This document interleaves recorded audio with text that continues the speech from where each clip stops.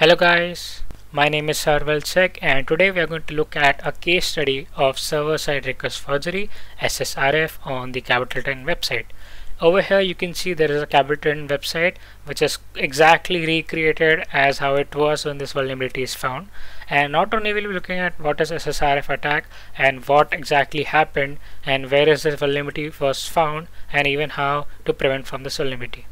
A small disclaimer before I start this video as all of this testing is done on Kontra Web Application Security and it's quite a safe to test web application and you can even go and do this lab by yourself. I'll provide the link down in the description and all of this is for education purposes only. So let's get started. So when you're in the Capital One website you will actually see everything like this that there's a Capital One website you can see your current balance available credit and you have like settings page and all of this. So there's one feature provided by Capital One which was that you can change the image on your card.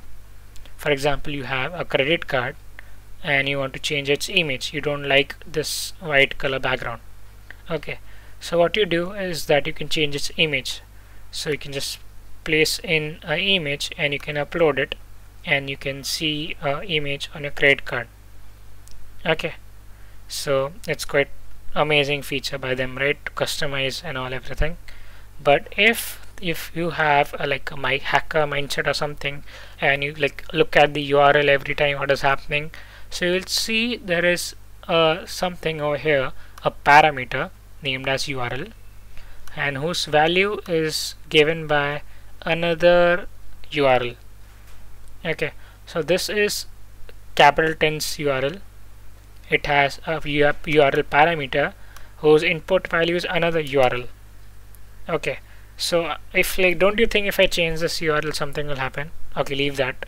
Just let's do next let's see what is happening. Okay so firstly let's do rather than okay there's one thing is for sure that whichever image you uploaded was firstly uploaded through to their S3 account in somewhere. Maybe whatever file you uploaded was under the name of 6b7c1a1e and over there from S3 account that uploaded image came back to this website. Okay. Now what we'll do is that we'll change this URL to check is it really possible? That is it really fetching value from any URL I provide? The answer is yes. Okay you can see over here that I provided a different URL which is not Amazon S3 which was before. It's not S3 bucket. And still it fetched the cat image. So this is quite a proof that I am able to make the other application make the server send a HTTP request to any arbitrary application. This is actually an SSRF attack.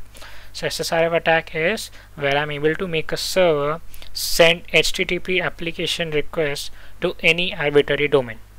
So over here even though the server did not want to send a request to cat memes but it still went to cat memes and got this cat image.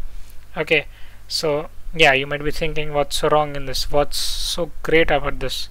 Okay so I'll just tell you how dangerous it can be. So firstly let's review the code. Why is this happening so it is actually happening because whatever value which I'm putting inside the URL parameter okay. So you can see there is this URL parameter. This the value of this URL parameter comes here in this query string okay. Then this query string value is being fetched okay. So whatever that query string whatever I provide in that parameter comes and it's downloaded and it's been loaded you can even pause the video if you want to read through it. Okay. Yeah. Now let's go further. So let's now see how can we increase the impact of this SSRF attack. So I'll just tell you one thing. Uh, the example for example you have a password right? So who knows your password except you? No one knows it right? You only know your password right so just like that there are like secret keys and secret tokens which are only accessible by the server itself. That means anyone who uh, who goes to the server for example the admin uses the server and there are so many people who like keep on updating stuff on the website and all they can access the server and they can see the keys. It's okay for them to see the keys. But for all the other people for the attacker for anyone else those keys are secret right? And those keys are not allowed to be seen by them so what actually I do over here is that since there, there, is, uh, there is a possibility of SSRF attack what if in this URL parameter I put in a link a place which is that website itself? For example this IP is actually belonging to the website itself. And when I normally go to this place which is a metadata which is the place of containing sensitive information if I normally go at this place I'll find like restricted. You can't go over here.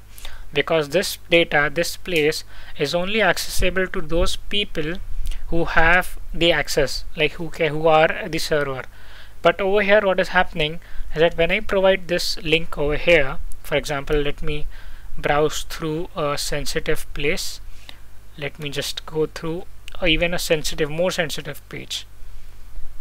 Okay what will be the most sensitive page? Uh, one just a second guys. Yep. Let's go here. Let's go to this URL you can see this URL I'll read it out for you. This URL is this is the IP address of the Capital One slash latest slash metadata IAM security credentials is a very very sensitive file.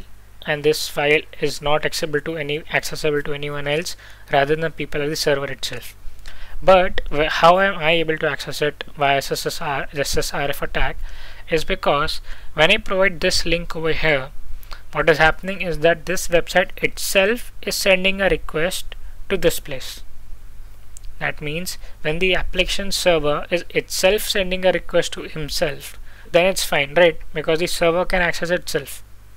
So that's why the server is able to access this sensitive place. And when it did that I got you can see as you can see there is secret access key and all the secret tokens and everything all, all of the sensitive values of the admin credentials and all everything.